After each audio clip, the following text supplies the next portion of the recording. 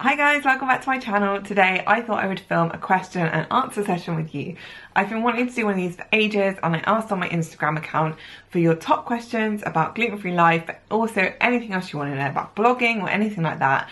And you guys have sent me some really good questions, so I've loaded them all up on my phone and I'm going to go through them and give you hopefully all the answers that you want to hear. So, how do you cope with being on a gluten-free diet and eating out? I get asked so many questions about eating out on a gluten-free diet. It's the one thing that keeps coming up over and over again. And I have written a post on my top tips, which I will link in the description of this video.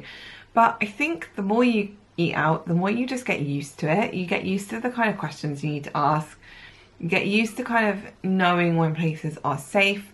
So the one thing I would say to people is if you are new to celiac and you're really nervous about eating out, I would recommend joining Coeliac UK and they have thousands of gluten-free accredited venues, including both chains like Pizza Express, um, Frankie and Benny's I think is one as well, Cote Brasserie is another amazing one for celiacs, and all these places will be listed, but there's also loads of independent places.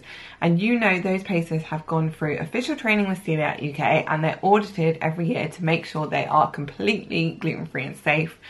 But just look around, like maybe where you live, check out Instagram, see if anybody's posting about places nearby, and just remember that you have to ask the questions that not just gluten-free people ask. So to put that in a more grammatically correct sentence, you basically want to make sure you ask about cross-contamination. You might find that a place lists a gluten-free menu, but then the more you question them, the more you'll find things like perhaps they don't have a separate preparation area, perhaps they fry things in the same oil as gluten-containing things. So you need to make sure you know the questions that you want to ask them about how the food is prepared and once you've got those questions nailed, if you're nervous, it does help sometimes to ring ahead or email them to ask those questions before you turn up because sometimes you may feel a bit awkward if you're going with a group and you've got to like grill the wait staff about how they fry their chips. So I find it really helpful to always ask ahead and I know that can be difficult when you like being spontaneous and you can't always do it. But I think as long as you're prepared, as long as you get clear in your head what you're happy with and I know it's a bit cliche, but go with your gut instinct. Like, if you don't feel that somewhere is safe, don't eat there. Don't feel pressured into eating there. Ask whoever you're with if you can eat somewhere else. Like, don't eat somewhere that you're not sure about because it's just not going to be worth it if you're ill the next day. So I would say that I have completely forgotten what the question was exactly. Basically, practice. It's the same with all things on a gluten-free diet the more you practice, the more you'll know when you can eat out safely. And actually, once you find places you feel comfortable with, it's such a nice feeling to be able to go out and have a meal and then wake up the next day and feel absolutely fine. So I would say, yeah, you just got to keep going for it, keep practicing, and don't forget to check out the blog post, which I'll link in the description, which has all my top tips about eating out. So I'm 26 and newly diagnosed. I've been gluten free for two months. How long until I start having energy? Now, I was diagnosed about 20 years ago, so my memory of kind of first going on a gluten-free diet is very foggy. From what I understand from speaking to dietitians and, you know, experts in that field, it can take a long time for your gut to heal. So if you think that you've had celiac disease and you could have had it for years and not known, and every time you've eaten gluten, it's damaged the lining of your small intestine over time, that is going to take time to heal. If there's a lot of damage there, it's going to take a while. You can't just go on a gluten-free diet for three days and suddenly everything's great. And that's also why it's so important to not cheat on your gluten-free diet because it just takes time for these things to heal. So I can't give you the kind of medical answers because I don't have that background. But from my experience, I think that my journey was a little bit different because I had thyroid problems as well, which also affected energy levels, which, you know, is what you're asking about. However, a lot of people say that they feel better within a few months. Some people say it takes about six months. Some people it can take up to a year or 18 months. The best thing I can recommend is keep on top of it, keep a food diary, and if you haven't seen a dietitian yet, push to see one through your GP so that you can ask them these questions and keep a record of how you're feeling. Because if you're still a few months down the line and you're not feeling great still, then you need to make sure your doctor's aware of that. So I would say always keep on top of it. Speak to your GP, speak to a dietitian, and I really hope that you start to get some of your energy back soon. Another quick thing to say on that actually as well is that actually when you are celiac, you can have a lot of vitamin and mineral deficiencies, which is another reason why it's really important to work with a dietitian because it might be, for example, that you might be perhaps lacking in something in your diet that you need to kind of compensate for with a supplement. So again, another really important reason as to why you should speak to your GP and your dietitian to get an idea of how long it should take till you feel better. But yes, unfortunately, it can take some time and yeah, I hope you do start to feel better soon. Have you found a replacement for Filo pastry? It's one of the few things I haven't found a gluten-free version of. I don't actually remember if I've ever had Filo pastry before but it seems to be one of the products that I have never found a gluten-free version of. There's gluten-free shortbread pastry, there's gluten-free puff pastry. I've never seen gluten-free filo pastry. I've never seen recipes for it.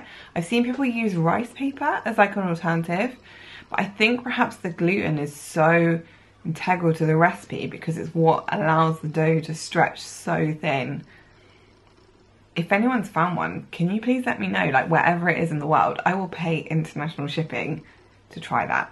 I've recently become gluten-free and struggling to find ideas for Chinese takeout.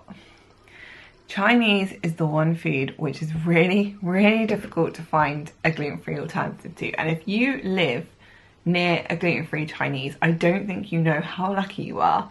I went to Glasgow a couple years ago and I had a gluten-free Chinese and it was amazing and oh so just I just wanted to move there. But yeah, Chinese food because it uses soy sauce.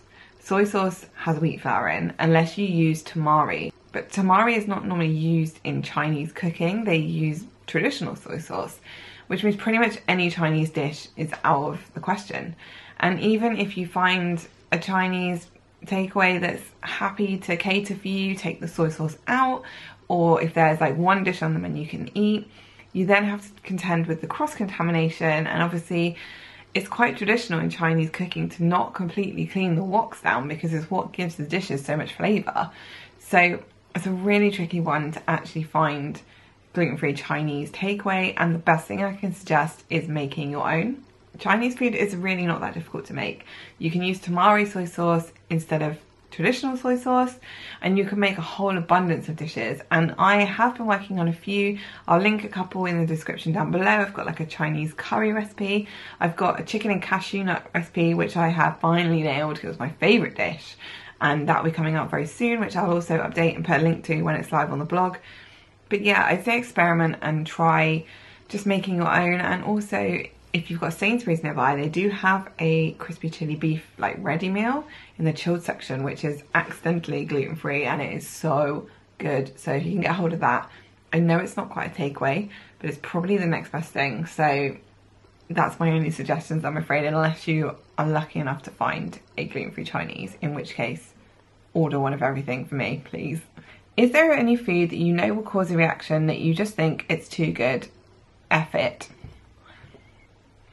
No, I don't think there is. When I was at university, I did have a bit of a rebellious stage and I did used to order Chinese takeaway a few times. When my friends did, I felt awkward. I'd never eaten that sort of stuff before. I was away from home for the first time. You know what it's like at that age, you go through a bit of a rebellion. Um, I wanted to do things my way. I didn't want to be confined by eating gluten free, and whereas I would always eat gluten free bread and things like that, that was the one thing that I would cheat on. And I mean, now I, I want to go back and slap my past self in the face and say, what are you doing? Because I used to feel terrible and it just wasn't worth it. Um, so at the time I would have said Chinese, but even now, like, I would literally kill to be able to eat egg noodles again. I love noodles, or like, I've always wanted to try a Krispy Kreme, but no, I just couldn't. I think the guilt would be too much, and I just, I couldn't do it. I think I'd feel too guilty. Someone even asked me once if I was on death row, what would my last meal be? And I said gluten-free pizza. And I was like, why would it be gluten-free if I'm going to die the next day? But yeah, so the answer to that question is no. I've never eaten anything intentionally, not in the last like 10 years or so, and I don't think I could. What is the best way to get rid of cravings? Because we all know it's not worth the cheating and it's not the same.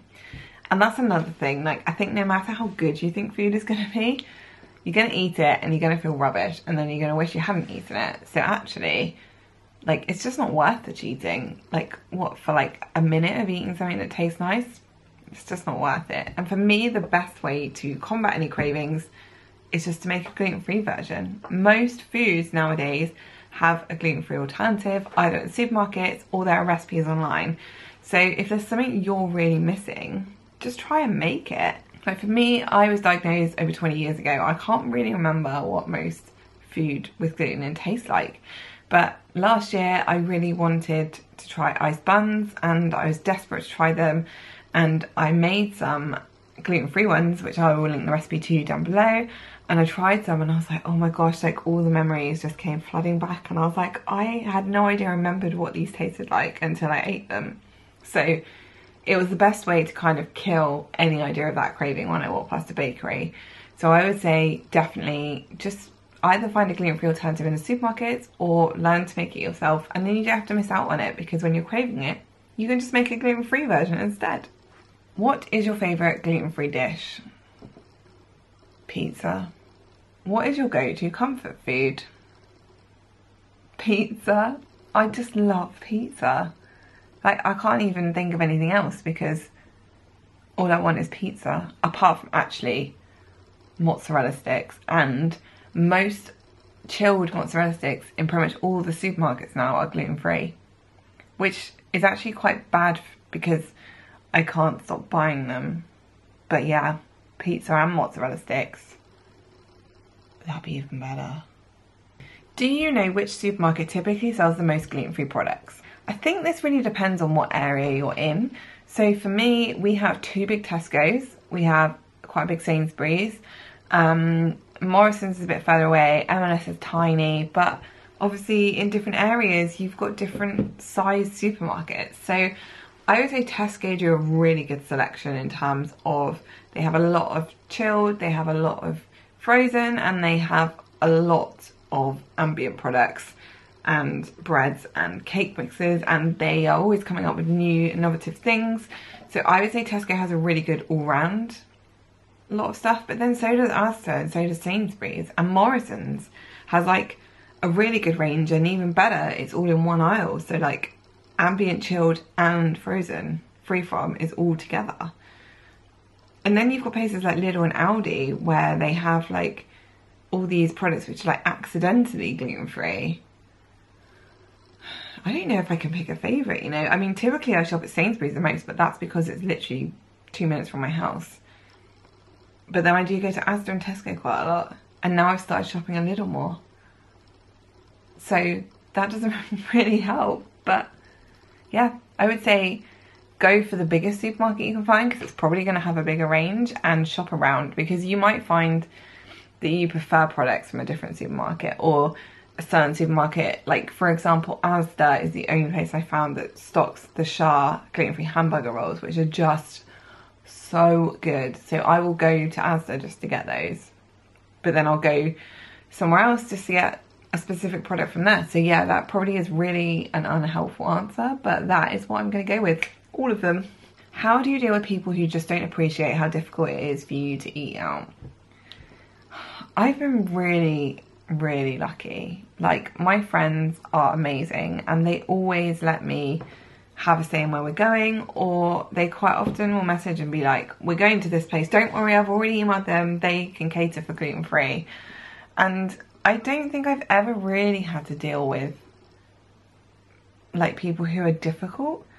Um, I would say even like at work parties, I mean, I didn't work in the biggest office, which probably made it easier, but that they would always kind of check that I could eat stuff. And yeah, I think if you do come across that, you just have to be really kind of patient with people, but also be firm. Like, this is not a decision you've made for fun. Like, you're not being fussy.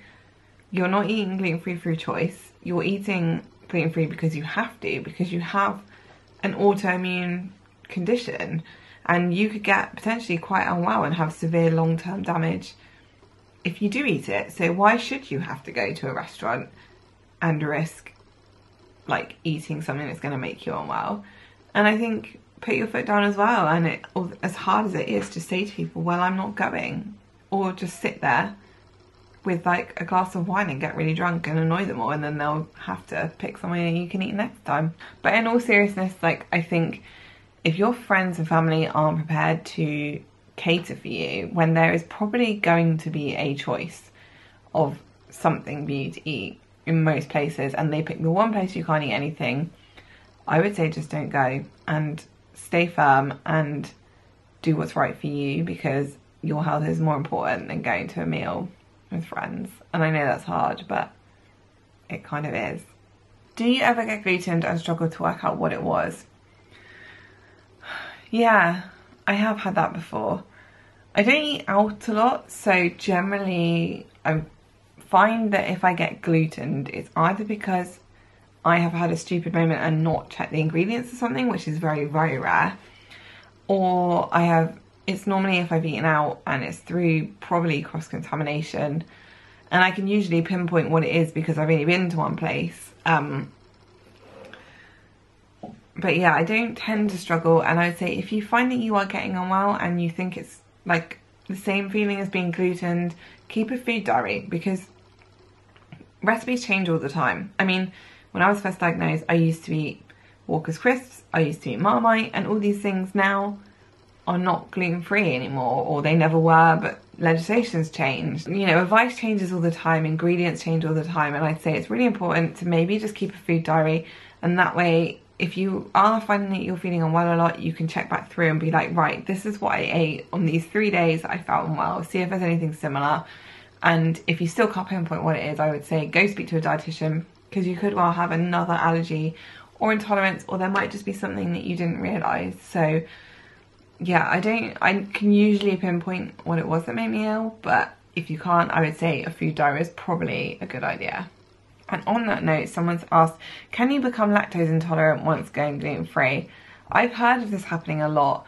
Um, I think generally if you're if you have celiac, you have a very sensitive gut anyway because of the damage that you've had done. And of course, I have no medical background in this, but I do think, you know, a lot of people do develop secondary intolerances and allergies um, and problems with your digestive system. So again, that's another reason why keeping a food diary is really helpful and you should always go back to your doctor if you think you have any further problems because it might well be that it's something that could be easily solved through like the help of a dietitian. So yeah, it is possible, but just try and keep on top of it.